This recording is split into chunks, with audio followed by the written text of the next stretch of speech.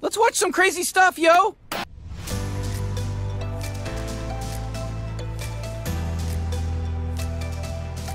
Jeez, Rick, oh my god! Hey, wait a minute, Rick. I thought this was a commercial. What's going on? I mean, don't don't worry about it. Let's just just see where this goes. Good morning, Mustangs. Today is Monday. Oh my God! It's still the commercial. And I'm John, and here are your morning announcements for today. The Key Club will be hosting a cornhole tournament.